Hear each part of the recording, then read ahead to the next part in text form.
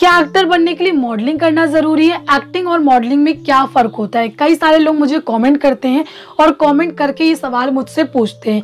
आज के इस वीडियो में आपको इस सवाल का तो जवाब मिलेगा कि एक्टर बनने के लिए मॉडलिंग करना ज़रूरी है या फिर नहीं। साथ में आपको एक्टिंग और मॉडलिंग में क्या फ़र्क होता है, वो भी इस वीडियो में आपको पता चलेगा। इसीलिए आपको इस वीडियो को ध्यान से और पूरा देखना है। वीडियो शुरू करने से पहले सिर्फ़ इतना कहना चाहती हूँ कि प्लीज़ सब्सक्राइब करें मेरे चैनल को। बेलाइकन को प्रेस करें ताकि आने वाले वीडियोस के नोटिफिकेशन आप तक के पहुँचते रहे। तो चलिए दोस्तों वीडियो शुरू करते हैं। तो हेलो दोस्तों, स्वागत है आपका दी कास्टिंग जोया में। मॉडलिंग वही लोग करते हैं जो लुक वाइज अच्छे दिखते हैं टॉल होते हैं अट्रैक्टिव होते हैं। आमतौर पर मॉडल का काम होता है किसी भी प्रोडक्ट को बेचना। मॉडल बड़ी बड़ी कंपनियाँ या टीवी एड्स के लिए काम करते हैं। मॉडलिंग भी अलग अलग तरह की होती है। जैसे television modelling, print modelling showroom modelling और रैम्प मॉडलिंग। कई सारे बॉलीवुड एक्टर्स हैं जो मॉडलिंग से एक्टिंग फ़ील्ड में आए हैं। जैसे प्रियंका चोपड़ा, दीपिका पादुकोण, अर्जुन रामपाल, जॉन इब्राहिम, कटरीना कैफ, प्रियंका चोपड़ा, कई सारे ऐसे एक्टर्स हैं जो मॉडलिंग से एक्टिंग फ़ील्ड में आए एक्टर बनने के लिए अट्रैक्टिव अच्छी बॉडी अच्छी हाइट सुंदरता, ये सारी चीज़ें ज़रूरी नहीं है। एक्टर बनना है तो आपको एक्टिंग आनी चाहिए, आपको डायलॉग्स सही से बोलना आना चाहिए और एक्टिंग की बारीकियाँ आना चाहिए।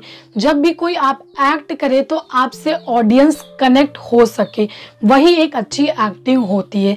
तो आशा करती हूँ कि आपको मॉडलिंग और एक्टिंग में फ़र्क पता चल चुका है। अब मैं आपको बताती हूँ क्या एक्टर बनने के लिए मॉडलिंग करना ज़रूरी है। ऐसा कोई ज़रूरी नहीं है कि आपको एक्टिंग फ़ील्ड में आना है तो उससे पहले आपको मॉडलिंग करना है।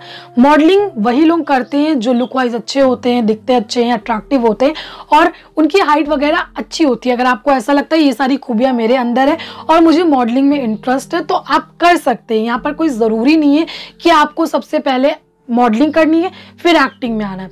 कई सारे जैसे कि मैंने आपको एग्जाम्पल्स दिए बॉलीवुड में, उन सब की हाइट अच्छी है, वो सब अट्रैक्टिव दिखते हैं, तभी वो लोग मॉडलिंग से एक्टिंग फ़ील्ड में आए। और कई सारे इनफैक्ट ऐसे भी मॉडल्स हैं जो मॉडलिंग करते हैं एक्टिंग फ़ील्ड में आते हैं, लेकिन उनको एक्टिंग नहीं आती है तो फिर वो लोग चल नहीं पाते हैं।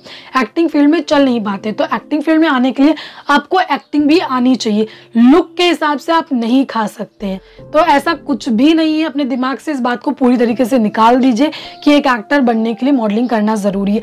आप डायरेक्ट भी एक्टिंग फ़ील्ड में आ सकते हैं, ज़रूरी नहीं है कि पहले आप मॉडलिंग करें, फिर आप एक्टिंग फ़ील्ड में आए। तो ऐसा कुछ भी ज़रूरी नहीं है। आप डायरेक्ट भी एक्टिंग फ़ील्ड में आ सकते हैं। तो आशा करती हूँ कि आपके लिए ये वीडियो काफ़ी हेल्पफुल साबित होगा। वीडियो अच्छा लगे तो प्लीज़ लाइक शेयर और सब्सक्राइब ज़रूर करें। Thank you